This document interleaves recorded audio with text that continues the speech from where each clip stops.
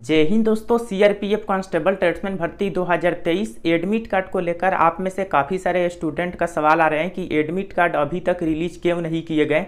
आप सभी को पता है कि इसका एडमिट कार्ड का डेट जो है सेकेंड फ़ेज़ का 27 को दिया गया था, लेकिन 27 को भी आपका एडमिट कार्ड नहीं आया। इसके अलावा 28 को भी आपका एडमिट कार्ड रिलीज़ नहीं किए गए।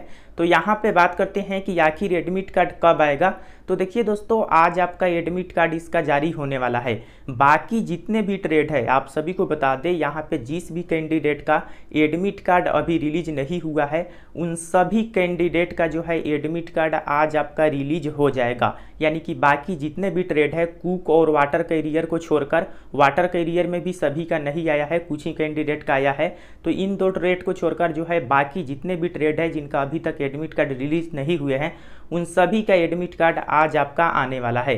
और इसको लेकर ऑलरेडी आप सभी को पता होगा सीआरपीएफ के तरफ़ से जो नोटिस आया था तेईस छः दो को, इसमें आप सभी देखेंगे उनतीस छः दो को, यानी कि आज के डेट में जो है, यहाँ पे बताया गया है आपका एडमिट कार्ड रिलीज़ किया जाएगा। हालाँकि सत्ताईस को भी एक डेट दिया गया था, लेकिन सत्ताईस को कोई भी एडमिट कार्ड आपका रिलीज़ नहीं हुआ था।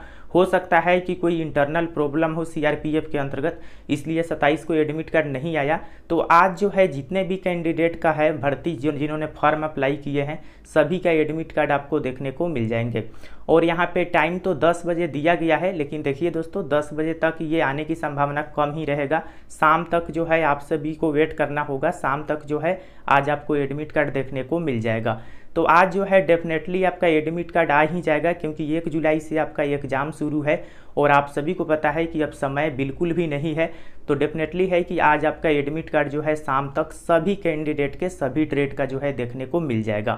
तो आई होप आप सभी समझ गए होंगे। अब बात करते हैं कि एडमिट कार्ड जब आएगा तो कैसे डाउनलोड करेंगे?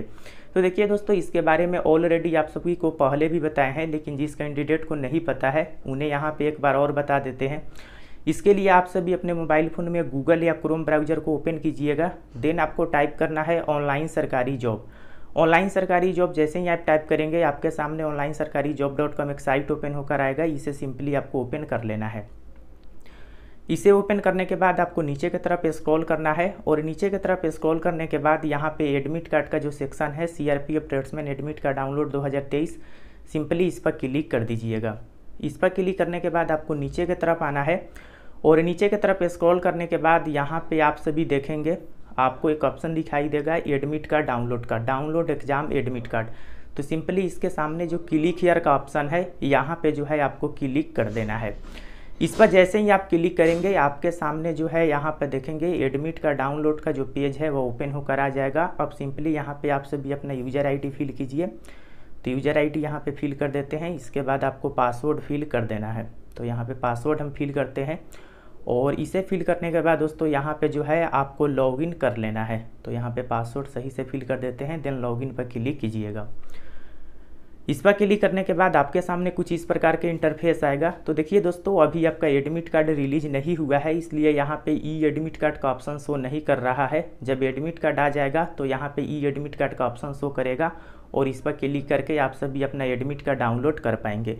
तो आज आप सभी वेट कीजिए, आज डेफिनेटली आपका एडमिट कार्ड आ जाएगा, जिस भी कैंडिडेट का एडमिट कार्ड अभी तक नहीं आया है। तो आई होप आप सभी समझ गए होंगे, कोई भी सवाल हो कमेंट सेक्शन में बताइएगा।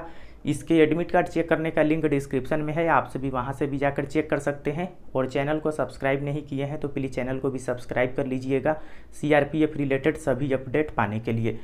तो कोई भी सवाल हो कमेंट सेक्शन में बताइए, फिर मिलते हैं नेक्स्ट वीडियो में, तब तक के लिए जय हिंद, वंदे मातरम।